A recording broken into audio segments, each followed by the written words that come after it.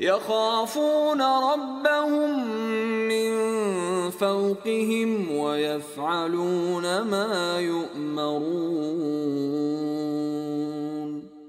Korku kardeşlerim ameli bir neticeyi doğurduğu zaman övülen bir şey olur. Ümit de ameli bir neticeyi doğurduğu zaman övülen bir şey olur. Aksi takdirde bunlar mahmud olan, istenilen, sevilen havf ve raca değildir. Korku peşinden Allah Tebareke ve Teala'yı itaati getiriyorsa, emirlere uymayı getiriyorsa, yasaklarından sakınmayı getiriyorsa istenilen övülen bir şeydir. Yok böyle olmuyorsa ya aslı olmayan bir iddiadır veyahut da kişiye faydası olmayacak bir psikolojik bozukluk olur, bir hastalık hali olur. Allah'tan korkuyorum, tir tir titriyorum, ölümden korkuyorum. Ahiretten, cehennemden korkuyorum. Bu korku sana ne yaptırıyor? Hiç, sadece korkuyor. Bu adam ya bir yalancıdır, korkmuyordur. Veyahut da bu korkma hastalığına kapılmış bir paranoyaktır. Her şeyden korkuyorlar ya, öyle bir paranoyaktır. Bu korku ona fayda etmez. Şu anda bu bu korkuyla Allah'a tapmıyor. Ne zaman fayda eder? Emirler yerine getirildiği zaman. Meleklerin vasfını, meleklerin vasfının anlatıldığı ayeti hatırlayın.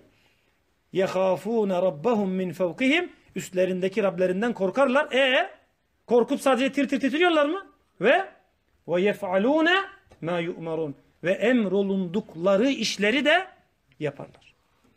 Ümit de bunun gibidir.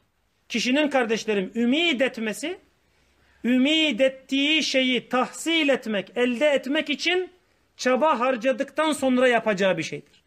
Çaba harcamadan oturduğu yerde ümid etmenin ismi hakikatte ümid etmek değildir. Bunun ismi gururdur. Bunun ismi kuruntudur. Bunun ismi kişinin kendisini avutması, kendisini kandırmasıdır. Eğer Allah'ın rahmetini ümid ediyorsan Allah'ın rahmetini celbedecek amellere gayret etmelisin. Amel olmadığı halde ümid etmek bu ümid etmek değildir. Yüce Allah Tebaraka ve Teala diyor ki iman edenler, hicret edenler ve Allah yolunda cihad edenler var ya işte Allah'ın rahmetini bunlar ümid ederler.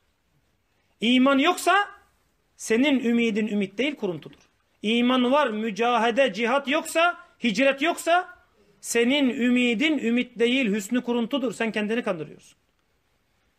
Cihat, Yüce Allah Tebareke ve Teala'nın emirleri ve yasakları uğrunda gayret sarf etmektir.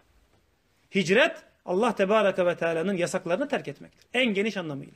Eğer bunlar yoksa sen sadece Allah'ın rahmetini ümit etmeyle yetirip yerinde oturuyorsan bu ümit etme değildir. Peşinden taat gelmeyen korkma da ibadet olan korku değildir.